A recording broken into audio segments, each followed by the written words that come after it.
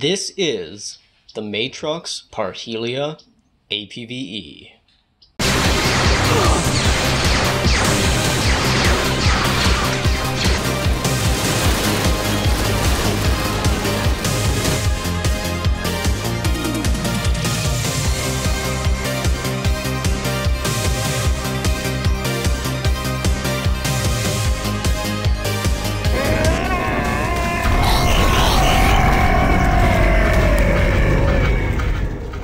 If you are at all familiar with Matrox history and the last great gaming send-off of the company that came in the form of the Parhelia, you'll know that the Parhelia primarily came in the form of AGP cards, with a PCIX version available for certain customers.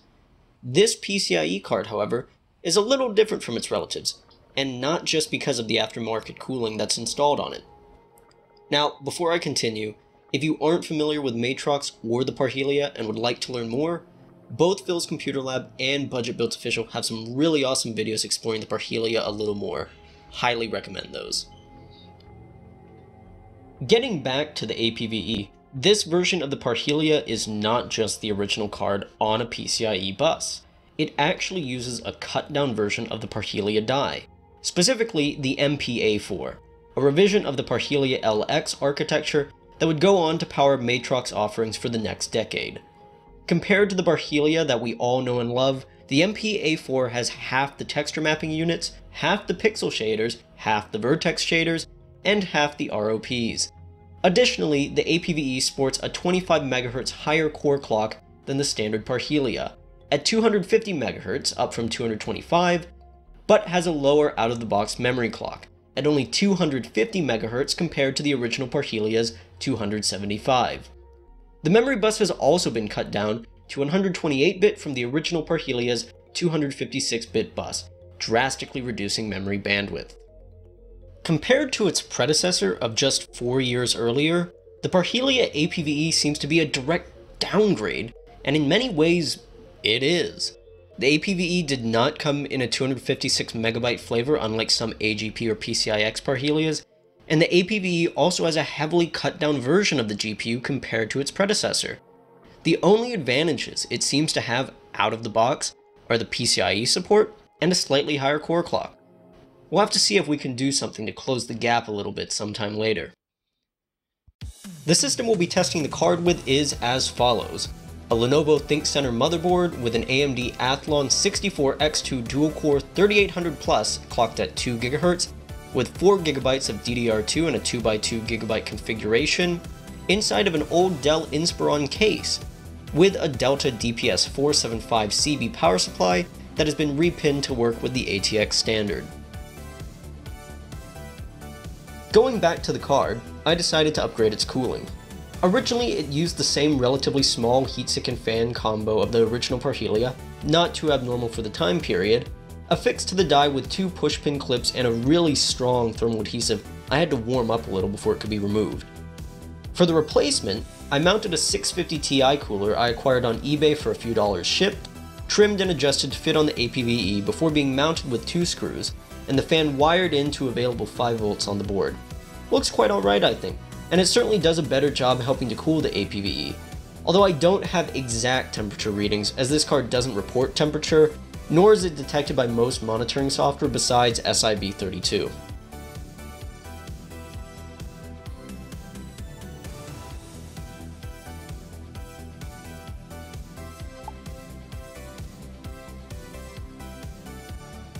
For the thermal paste, I use this HY510, pretty much the bargain bin stuff you can find on eBay from China, but it's really affordable in bulk and does a fine job when applied in spread really not that much worse compared to other average thermal paste. It's not like we're going out for uh, thermal grizzly or anything like that.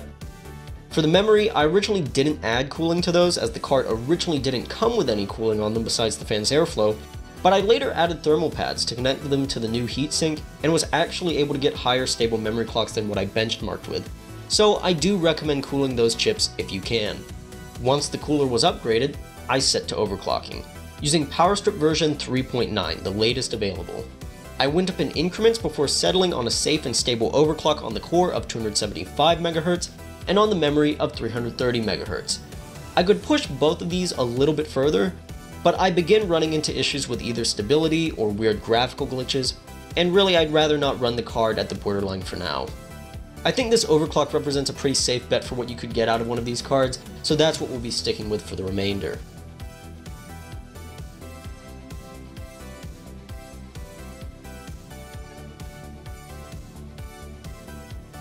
Testing the overclock settings in 3D Mark 03, we get 635 3D marks, a pretty healthy increase compared to the stock results of 506 3D marks. Not bad.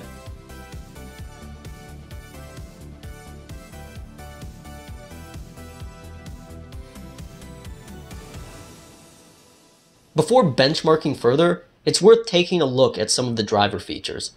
Matrox's driver suite, known as PowerDesk, is quite nice I think, offering a lot of customizability for monitor setup and application adjustments.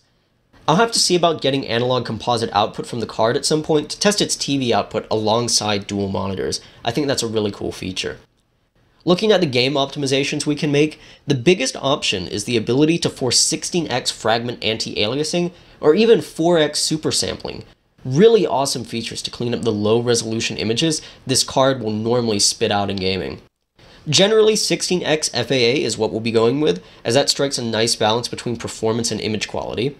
There are also options for reporting OpenGL capabilities differently, probably in relation to the Parhelia architecture's lack of full DX9 or OpenGL 1.4 and up support. The first game that we'll be taking a look at is Star Wars Battlefront from 2004. Both this game and Star Wars Battlefront 2 needed 3D Analyze to force software transform and lighting, not so the game would work, but so the game just loaded up in a reasonable amount of time. Seems like a bug with Matrox's TNL implementation on this card, I don't really know. Anyway, once we got into the game, testing on Bespin platforms at 800 by 600 with lowest settings, we were able to achieve an average of 42 FPS with a minimum of 20 FPS. I would say so long as you stay away from the heavier mod maps for Battlefront 1, you'd have a decent time with the APVE in this game, although it will fluctuate on a map-to-map -map basis. Next up was, of course, classic Battlefront 2 at 800 by 600 all lowest, and on most maps it ran just fine, similarly or even better than Battlefront 1 in many instances.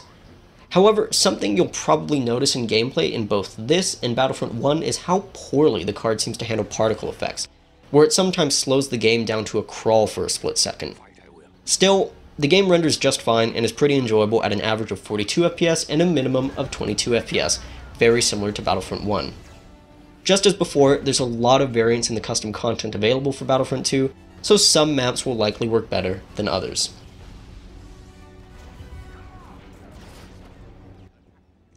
Sid Meier's Pirates ran mostly fine in the initial test run at 640 by 480 lowest with an average of 53 FPS and a minimum of 0 FPS from the transition screens. Although at first I experienced um minor issue. Yeah, we'll call it a minor issue. Not only that, but the game seemed a bit unstable, crashing at seemingly random intervals for no reason at all. I did, however, later fix both of these issues with these 3D Analyze settings I'm throwing up on the screen right now, and I added 16x fragment anti-aliasing without that much of a performance hit. I suspect the problems I experienced are related to the Matrox drivers and how they're handling OpenGL and DirectX, not really sure.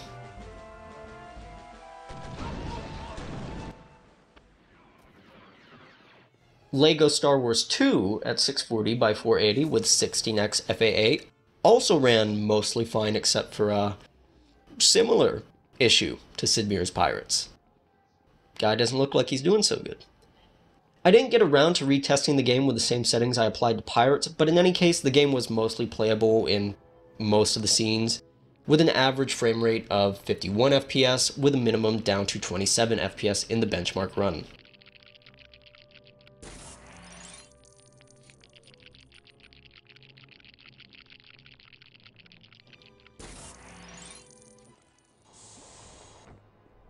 Jedi Knight 2 Jedi Outcast ran superbly at 640 by 480 with a mixture of low and medium settings and 16x fragment anti-aliasing, achieving a splendidly high average FPS of 89 and minimum down to 73 FPS. The 16x FAA really looks fantastic in this game, and the Matrox drivers even included a profile for it by default. I've played through most of the game on this card at this point, and it's really just a stellar experience, just as fun as ever. And actually, comparing to the stock clocks, uh, we do actually get an increase of around 10 FPS on the average, so I do recommend playing this overclocked on the card.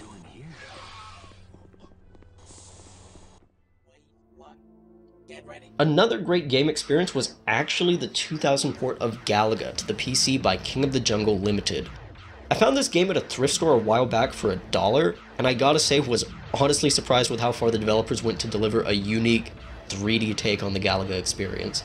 It starts out pretty standard like any Galaga game, until all of a sudden on the second stage it turns into a weird version of Star Fox. Running with 16x FAA at 640 by 480, the game's maximum resolution and settings, we stuck around at the frame rate cap of 30 FPS, with minimums only ever dropping to 29. I'd actually recommend checking this port out of Galaga if you want to. It's pretty interesting, and honestly I had a good amount of fun with it.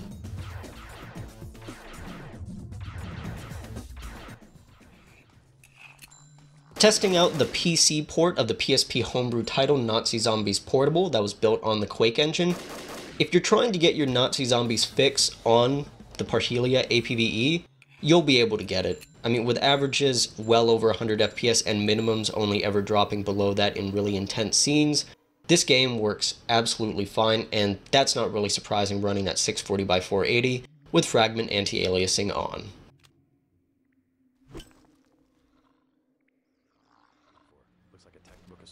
Deus Ex, that wonderful gem of a game that came out years before the Parhelia APVE, to no surprise ran absolutely fine, with an average of 59 FPS and a minimum of 44 in the benchmark run on Liberty Island. Sure, later in the game with more demanding scenes this might drop a little, but I'd say that at 640 by 480 with fragment anti-aliasing on, you'll have a fine experience playing through Deus Ex on this card. It's not that fast-paced of a game, and it works just fine.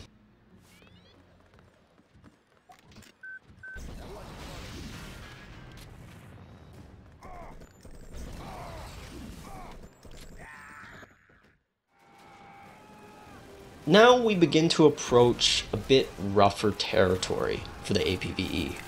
With the original Call of Duty at 640 by 480 lowest settings, the game was playable, but with a lot of fluctuation in frame rate depending on the exact scene the card was rendering.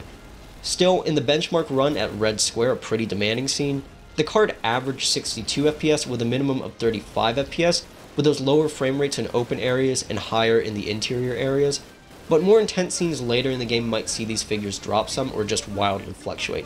Still, not a bad experience. I would be able to play through Call of Duty on this card. The follow-up, Call of Duty 2, was not a great experience as it didn't even launch with the APVE, reporting that the card or driver did not support alpha blending. I did use Swift Shader 2.0 to get the game to launch, but that's pretty much software rendering, and to say the least, the performance was not great, and it didn't even render the game completely properly. Not really too shocking considering the shortcomings of this card, but still, kinda disappointing. Doom 3, another classic, was up next, and it ran about as expected. Worse than the original Parhelia, to some extent with the same graphical glitches, but still mostly playable with an average on the overclock card of 39 FPS and a minimum of 16. Although I will say, in a lot of gameplay, you are going to see those dips into the 20s and even high teens. But with the slower pace of Doom 3, this is still largely playable, and the game renders just fine, it's still the Doom 3 experience. You're still going to be able to play this game on the Parhelia APVE. Switching on over to Doom Slayer's Testaments, a mod for the Quake Spasm engine inspired by recent Doom 2016 and Doom Eternal titles, we actually did not get the performance that I was expecting out of this card. We only averaged 37 FPS in the benchmark run with a minimum of 21 FPS. And in a faster paced game like this, I would hesitate to call this a good experience on the APVE. Honestly, kind of surprising, I thought it would run this a bit better after seeing how this game ran on a card like the Realizm 800, but we're seeing those limitations of just what the Parhelia APVE is able to put out.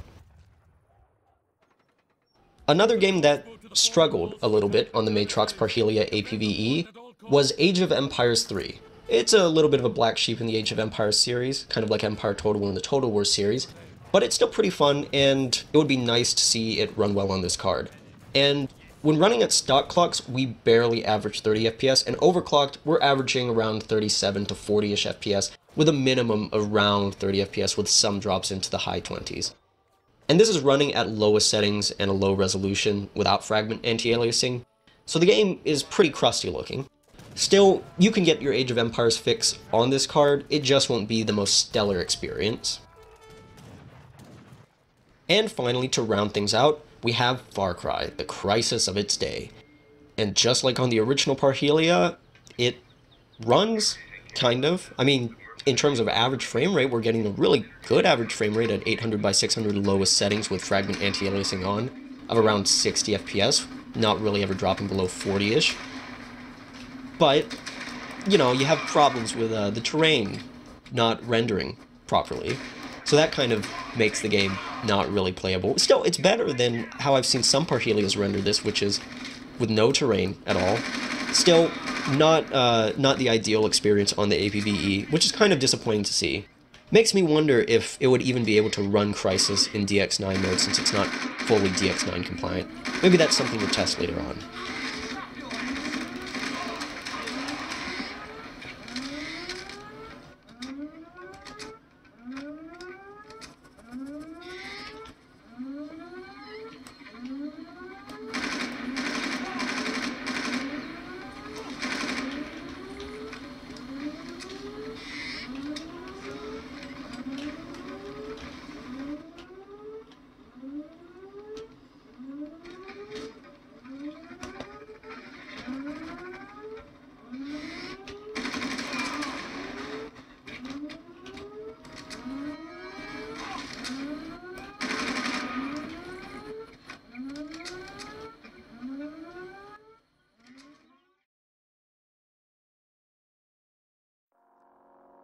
So that does it for the tests of the Matrox Parhelia APVE, at least at this time.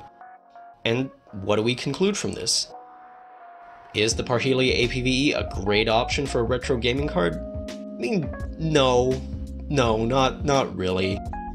If you want fast performance, you know, you could pick up a cheap 8800 GTS and you'd be flying in most Windows XP games.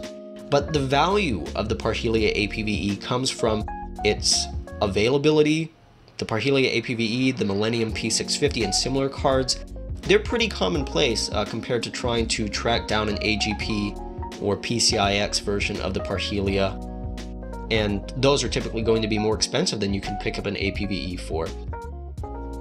What's interesting about the Parhelia APVE is you get that Matrox driver set, you get that interesting look at a third GPU maker, and What's really a shame is that looking back on Matrox, one can't help but wonder what could have been. Because the Parhelia was honestly a really cool architecture, and it's really cool to see things like 16x fragment anti-aliasing built into the driver, 4x super sampling on a card this old. As for myself, I'll probably keep using this card in my retro gaming machine because honestly, it's pretty interesting and it gives a pretty period correct feeling, a nostalgic feeling and experience in a lot of these older titles that not great performance, but still plenty good for a lot of the experiences that I want to have on my retro gaming machine. Should you pick one of these cards up? Probably not, unless you have an interest in Matrox or just having a retro third GPU maker card in your system. They're certainly interesting for that. They're fascinating cards, and you know, there are even better cards that Matrox put out later on built off of the same architecture like the Matrox M9148, I believe, that had different memory configurations, more memory, faster memory, that might be worth exploring and even pushing further to see if we can get even better performance out of the Matrox architecture. It's a shame that Matrox no longer produces these cards, but, you know, really they weren't stellar cards, and if you're looking just to have a stellar retro gaming experience, I'd look elsewhere.